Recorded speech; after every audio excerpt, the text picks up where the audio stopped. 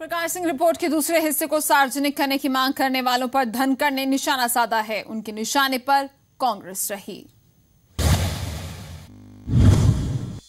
अंबाला पहुँचे कैबिनेट मंत्री ओम प्रकाश धनखड़ ने प्रकाश सिंह रिपोर्ट के दूसरे हिस्से को सार्वजनिक करने की मांग कर रही कांग्रेस पर पलटवार किया है। उन्होंने कहा कि जितनी ज़रूरत थी, उतना हिस्सा सार्वजनिक किया जा चुका है और विपक्ष को विरोध के लिए कुछ तो कहना ही पड़ेगा।